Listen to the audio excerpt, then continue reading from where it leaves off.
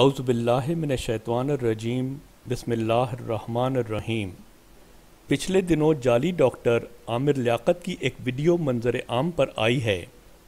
اس video نے دنیا بھر میں بسنے والے پاکستانی مسلمانوں کے سر شرم سے جھکا دیے ہیں۔ لوگ یہ سوچنے پر مجبور ہیں کہ کیا یہ ہیں ہمارے علماء دین کہ جو ہمیں دین سکھاتے اور میڈیا پر دینی پروگرام پیش کرتے ہیں؟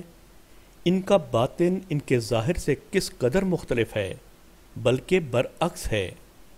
آ، حضرت صلی اللہ علیہ وسلم کے قصیدہ کے ذکر کے دوران اس قدر فحش گوئی اور تمسخر، کیا یہ توہین رسالت کے زمرے میں نہیں آتا؟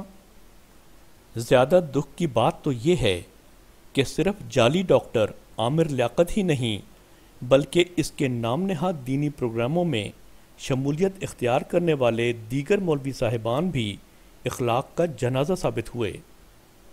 قصیدہ بردہ کے ذکر کے دوران ٹیڑی ٹوپی والے ایک مولوی صاحب عامر لیاقت کی فحش گوئی پر احتجاج کرنے کے بجائے صرف یہ گزارش کرتے نظر آئے کہ اگر اس ٹوپی میں وہ ایک بدکردار اداکار لگ رہے ہیں تو کیا وہ ٹوپی بدل نہ لیں؟ ایک اور مولوی صاحب ایک خاتون کے سوال کے جواب میں قرآن پاک سے مسئلہ سمجھانے ہی کو ہوتے ہیں کہ عامر لیاقت ہنس پڑتے ہیں۔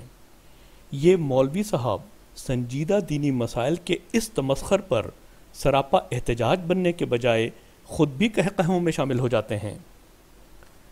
ویڈیو کے اس حصے پر وہ حدیث یاد آ جاتی ہے کہ جس میں ہمارے پیارے نبی صلی اللہ علیہ وسلم فرماتے ہیں کہ ایک ایسا بد نصیب زمانہ آنے والا ہے کہ جب لوگ اپنے علماء کے پاس رہنمائی کی غرض سے جائیں گے، تو کیا دیکھیں گے کہ وہ تو سور اور بندر ہیں؟ یہ حدیث پاک انتہائی پر حکمت کلام پر مبنی ہے۔ بندر نقالی کرتا ہے اور سور تبن ناپاک ہوتا ہے۔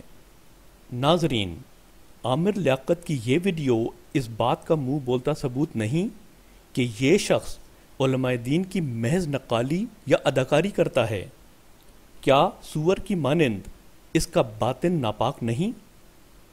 عامر لیاقت کی اس ویڈیو کو جعلی کہنے والے دراصل اس ویڈیو کو نہیں، بلکہ آ حضرت صلی اللہ علیہ وسلم کی اس پیش گوئی کو جھوٹ کہہ رہے ہیں کہ جس میں آپ صلی اللہ علیہ وسلم نے اس زمانے کے نام نہاد علماء کو بندر یعنی دینی اداکار اور سور قرار دیا۔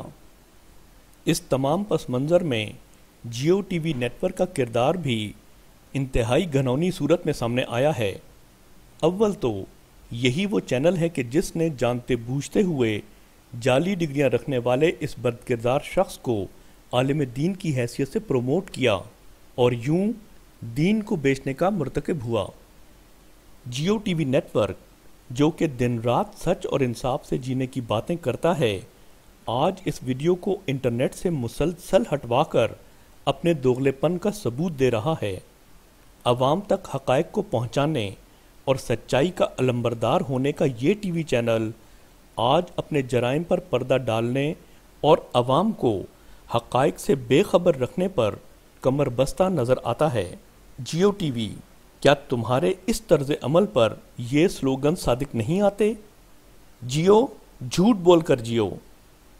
جیو، حقائق چھپا کر جیو۔ مگر یاد رکھو جیو، کہ دنیا دیکھ رہی ہے۔ تم حقائق کو زیادہ دیر نہ چھپا سکو گے۔